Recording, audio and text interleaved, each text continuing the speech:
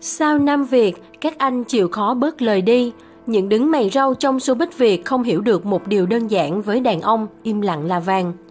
Những cuộc tranh cãi va chạm sau các cuộc tình vốn là điều không tránh khỏi, đặc biệt là trong showbiz Việt, lý do có thể đến từ bất kỳ ai, bất cứ điều gì và lỗi lầm cũng vậy. Nhưng không phải bao giờ nhận hết điều hay lẽ phải về mình và đổ vẫy sai lầm cho người khác cũng giúp người ta trở nên đẹp đẽ hơn. Điều này đặc biệt đúng với trường hợp những ngôi sao nam trong showbiz Việt khi mà sai lầm lớn nhất của họ chính là không chịu ít lời. Hồ Quang Hiếu, chàng ca sĩ thần tượng của biết bao cô gái vừa bị mất điểm đáng kể khi xảy ra va chạm cùng vợ cũ Ivy. Vẫn biết chia tay là quyết định đến từ hai phía, lỗi lầm hay va chạm cũng vậy, nhưng chỉ riêng việc tố những điều chẳng hay ho về người xưa của Hồ Quang Hiếu đã là một chuyện không nên.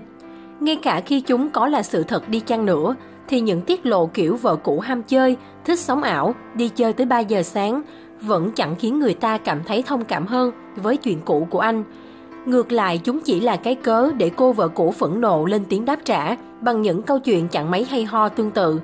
Và sau tất cả, liệu hình ảnh của cả hai có trở nên long lanh hơn chút nào nhờ bới móc những sai lầm dĩ vãng của nhau? Cùng chung cảnh ngộ với Hồ Quang Hiếu, chàng vũ công Lâm Vinh Hải cũng từng gánh chịu hậu quả nặng nề khi buông lời cay đắng về vợ cũ ngay trong cơn bão chia tay.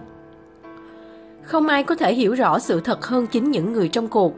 Nhưng lời tuyên bố nếu biết trước đã không lấy người như vợ cũ của Lâm Vinh Hải vẫn khiến anh nhận không biết bao nhiêu gạch đá từ phía đám đông. Khoan bàn tới chuyện đúng sai giữa họ, nhưng chỉ biết rằng lời tuyên bố nóng vội và cạn nghị của Lâm Vinh Hải đã khiến hình ảnh nam thần làng nhảy của anh bị tổn thương nặng nề. Câu nói ngắn ngủi nhưng lại đủ sức khiến đám đông liên tưởng tới rất nhiều điều xấu xí trong con người của chàng vũ công nổi tiếng, dù chưa chắc đã chính xác hoàn toàn, nhưng như vậy cũng đủ khiến Lâm Vinh Hải lĩnh trọn hậu quả ngay sau đó. Khán giả cả đồng nghiệp phẫn nộ, lên án anh cạn tình cạn nghĩa và bạc bẽo. Hình ảnh của anh xấu đi thê thảm và uy tín sức hút cũng giảm đi trông thấy sau chỉ một đêm. Quan trọng hơn, ấn tượng của Lâm Vinh Hải gần như trở về con số không tròn chỉnh. Nhất là trong lúc người vợ cũ vẫn đang giữ im lặng tuyệt đối về anh. Những đứng mày râu trong showbiz Việt vẫn không hiểu một điều đơn giản. Với đàn ông im lặng là vàng, tranh cãi va chạm hay thậm chí là khơi lại điều chẳng hay đã qua chỉ khiến hình ảnh của họ thêm xấu xí. Những câu chuyện quá khứ bình yên hay hình ảnh người đàn ông bao dung thầm lặng luôn đẹp đẽ hơn nhiều so với những người đàn ông gớm ghê và nhiều lời. Tiếc rằng không phải ai cũng nhận ra những điều đơn giản nhất – để rồi những sai lầm khó lòng cứu vãn cứ khiến đám đông nhìn họ bằng một con mắt khác. Thương tính, chàng lãng tử màng bạc, từng đánh cắp trái tim của biết bao cô gái một thời, cũng từng gặp sai lầm khủng khiếp với cuốn tự truyện của mình. Không giống như sai lầm của những chàng trai trẻ, cụ ngôi sao màng bạc gây sốc khi lật dở lại hồ sơ tình ái dày đặc của mình, vì quá nhiều người phụ nữ đã chịu nhiều đau khổ hy sinh chỉ vì một chữ yêu ôm ào nhất, trùm beng nhất và khiến lao đao nhất chính là câu chuyện về cô ca sĩ Hồng Nhung từng nhiều lần bỏ thai vì ông. Những tưởng đó là tình tiết đắt giá nhất, độc đáo nhất trong tự truyện, nhưng không phải. Độc giả thông cảm sẽ chia với ông thì ít, mà phản đối căm phẫn vì cách ông lôi quá khứ đau đớn của người phụ nữ, từng hy sinh vì mình ra, lại nhiều hơn gấp bội. Kết quả là hình ảnh lãng tử đa tình đâu không thấy, chỉ thấy đám đông sôi sụp phẫn nộ vì một thương tính nhận tâm bạc bẽo và cãi nhiều lời. Rất nhiều độc giả đã cảm thán rằng hình ảnh của thần tượng đổ sụp trong họ. Ngay khi ông trình bày chuyện tình cảm và cả những người đàn bà của mình trong cuốn tự truyện đầy tai tiếng, một cái giá quá đắt cho cụ Minh Tinh chỉ vì không học được cách bớt lời và trân trọng quá khứ của chính mình. Chánh tính, nam thần đời đầu của màn ảnh Việt cũng từng chịu không ít thị phi khi nội hấn tuyên bố tôi có hàng trăm hàng ngàn cuộc tình ở ngoài nhưng nhất định không có con rơi con rớt, vợ tôi phải kính trọng tôi vì điều đó. Vẫn biết ý tứ của năm tài tử lừng danh chưa chắc đã là tệ hại, nhưng sự tự tin quá mức vào quá khứ đào hoa của ông vẫn cứ khiến rất nhiều người phản cảm. Cả tình yêu sự trân trọng dành cho vợ của ông bị phủ mờ rất nhiều bởi vết đen dĩ vãng. Hình ảnh vốn rất đẹp, rất long lanh của một minh tinh hạng nhất màn bạc Việt, bỗng trở nên xấu xí đi rất nhiều sau chỉ một khoảnh khắc nhiều lời. Vẫn biết rằng đôi khi cảm xúc hay những suy nghĩ nhất thời có thể khiến người ta khó lòng lặng im, nhưng đó vẫn là điều mà một ngôi sao nam cần học. Hãy nhìn cách Quang Dũng lặng im trước lời tố giả tạo của Jennifer Phạm để thấy rằng tranh cãi không phải cách duy nhất để người đàn ông giành phần thắng. Rồi những trường hợp tương tự khác như anh hai Lam Trường, MC Thành Trung, họ vẫn giữ được hình ảnh đẹp trong lòng công chúng, ngay khi những ồn ào nổ ra từ người cũ, bởi họ biết cách giữ bình tĩnh và cả sự khôn ngoan điềm đạm của mình. Ít nhất thì chưa biết đúng sai, họ cũng không phải chịu ác cảm của đám đông dành cho những người đàn ông nhiều lời và ưa lèm bèm về quá khứ. Biệt thự của Đàm Vĩnh Hân lung linh sau trang trí Noel. Việc trang trí ngôi nhà của nam ca sĩ đã hoàn tất và chuẩn bị đón người hâm mộ đến chụp ảnh. Sau vài ngày dành thời gian để trang trí, ngôi biệt thự của Đàm Vĩnh Hân ở quận 10 thành phố Hồ Chí Minh đã hoàn toàn lột xác. Nhìn từ bên ngoài căn nhà trông cực kỳ lung linh với ánh đèn đủ sắc màu. Toàn bộ khu vườn trông như không gian trong một chuyện cổ tích mà ai cũng từng đọc được thổ ấu thơ. Phụ kiện trang trí cho ngôi nhà được Đàm Vĩnh Hân mua hoàn toàn từ Mỹ hoặc châu Âu. Trong các chuyến lưu diễn, ca sĩ cho biết mỗi lần đi diễn xa, anh ít đi chơi mà dành thời gian đến các cửa hàng lùng sụp đồ trang trí độc lạ. Đàm Vĩnh Hân có niềm yêu thích đặc biệt với mùa Giáng sinh. Anh kể từ bé đã thường nằm mơ, thấy mình được sống trong không gian huyền ảo như vậy mỗi khi đông về. Nhiều người cho rằng Mr. Đàm chơi ngông, nhưng anh không quan tâm vì đây là sở thích cá nhân. Anh khẳng định mình không có những thói quen như người khác là đàn đấm uống bia rượu, không dùng các chất kích thích, không chơi bời. Nam ca sĩ rất tự hào vì mình có lối sống hoàn toàn sạch. Anh chỉ có căn bệnh duy nhất là thích sắm sửa cho mình và cho người thân, trong đó có việc mua sắm trang trí nhà cửa. Năm nào cũng vậy, dù bận rộn đến đâu, Mr. Đàm đều bỏ thời gian tự tay chăm chút cho phần trang trí ngôi nhà cùng các cộng sự. Chỉ riêng năm 2016 anh có chuyện buồn nên tuy đã trang trí được một phần, song anh quyết định gỡ bỏ. Năm nay cuộc sống của anh gặp nhiều may mắn và niềm vui nên anh trở lại với sở thích này. Khác với nhiều người, chỉ mời bạn bè thân thiết đến thưởng ngoạn, Đàm Vĩnh Hân sẽ mở cửa nhà để mời toàn bộ khán giả đến xem và chụp ảnh kỷ niệm. Hôm nào anh ở nhà thì sẵn sàng ra chụp cùng người hâm mộ.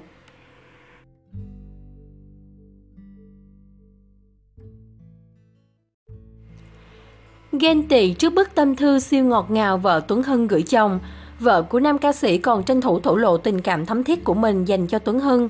Mới đây trên trang cá nhân, bà xã của nam ca sĩ Tuấn Hưng vừa mới đăng tải dòng trạng thái với nội dung xoay quanh về cuộc sống gia đình. Theo đó Thu Hương đã chia sẻ đôi điều về ông xã và cả tình yêu mà cô dành cho chồng mình. Cụ thể Thu Hương bộc bạch, tôi thấy mình may mắn vì có người chồng tâm lý, không để ý vặt, xôi vợ quá kỹ phải thế này thế kia, áp đặt vợ, và hơn nữa, bản thân chồng mình cũng luôn cố gắng để hoàn thiện mình. Cũng chính vì vậy mà em cũng luôn cố gắng hết lòng về gia đình này và cố gắng hoàn thiện bản thân hơn. Dù đã có những lúc dông bão mệt mỏi, giận hờn muốn buông tay, nhưng lại nhớ lại những gì chúng ta từng vì nhau, nhớ lại lời bắt đầu mà thấy vẫn còn yêu nhiều lắm, yêu anh rất nhiều. Em thấy may mắn khi được anh che chở và đúng nghĩa người đàn ông của đời em. Không bao giờ anh chấp những lúc em giận dỗi hay cãi vã, những lúc cãi nhau anh cho em đọc thoại một mình. Không bao giờ kể với ai quá nhiều về câu chuyện của gia đình mình, vì anh vẫn thường dạy em không ai sống thay cho mình mà họ sẽ phá tan nát gia đình mình. Khi cãi nhau không bao giờ anh ra ngoài nói xấu và trách móc em, vì có lẽ hơn ai hết, anh hiểu cả tuổi thanh xuân em đã dành hết cho anh và con. Anh vẫn luôn luôn ủng hộ cho công việc của em, tư vấn cho em những kinh nghiệm của anh, em thấy mình thật may mắn, mãi mãi yêu anh và các con. Sau nhiều mối tình, Tuấn Hưng đã tìm được bến đỗ hạnh phúc với Thu Hương. Với 3 năm chung sống, cả hai đã có cho mình hai thiên thần đáng yêu là Su Hào và Son. Bà xã nam ca sĩ thừa nhận từ khi lập gia đình, cô đã thay đổi rất nhiều và rất hiếm khi tụ tập với bạn bè. Mỗi lần ra ngoài, cô đều nghĩ đến các con đang ở nhà nên vội vã về với con. Tuấn Hưng cũng là nam ca sĩ khéo léo nịnh vợ nhất showbiz Việt khi anh thường xuyên thể hiện tình cảm với Thu Hương trên mạng xã hội. Hiện tại cặp đôi này nhận được rất nhiều sự ngưỡng mộ của mọi người khi có một tổ ấm hạnh phúc, một cuộc sống sung túc với khối tài sản khủng.